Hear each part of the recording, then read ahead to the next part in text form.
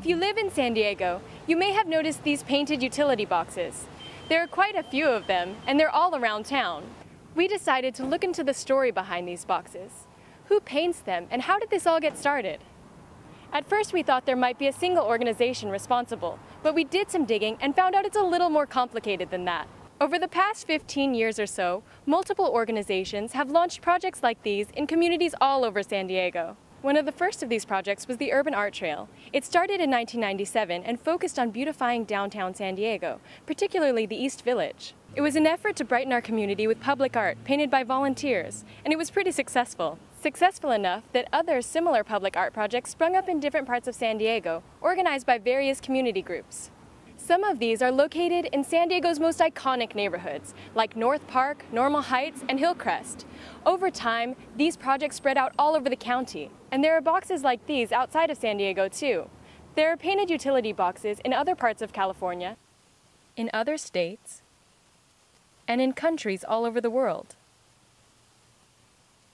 We certainly like these boxes, and we decided to ask a few other people what they think. I like them. They're pretty. It's better than a big gray honking box right in the middle of the street. Well, it's better than just, you know, an ugly box sitting there. Anything you can do to beautify the town. Mm-hmm. I like it. I think it's very, very nice. I don't know. They they're better than the green ones, uh, the, just the plain green ones. I think they're gorgeous. My name is Carol Lockwood, and I am a volunteer with the city of La Mesa. And about 15 years ago, the La Mesa Arts Alliance was created. We have been doing a variety of projects, among which uh, is this utility box project.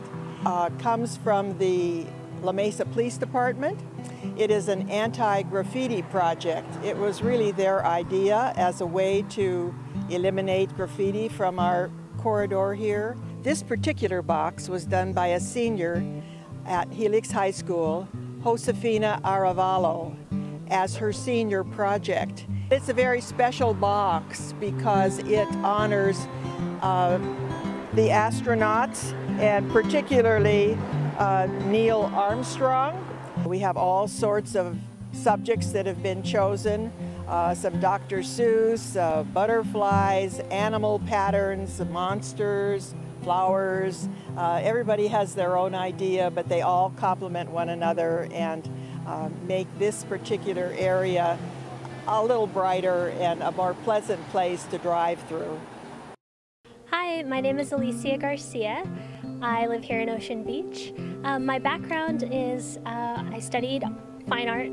I actually saw a posting on Facebook from the Ocean Beach Main Street Association and they did a call for artists. Um, so I answered the call. I just inquired about it. They were having this beautification um, project for Ocean Beach, saying that they wanted to beautify the utility boxes that were kind of looking dingy. Basically, I had to, um, it was pretty rough, so I had to um, sand it down and my um, husband helped me sand it down with like a power sander and then we had to prime it and then I started with the colors and um, I knew exactly I knew the colors that I wanted to use and I kind of just let it flow from there.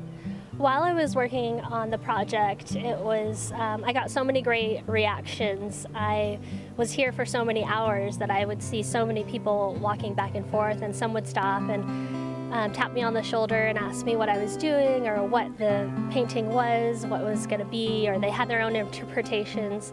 This project was something I'm, I was so excited and proud of to do, and I just feel really lucky that I got this opportunity. Looking at box art is different from seeing art in a museum or gallery. It is often viewed by people driving or walking by. It fades into the background of everyday life. It also embodies a sense of community spirit. The artists are often motivated by a desire to beautify their communities. We love San Diego's box art, and we hope the tradition continues for years to come.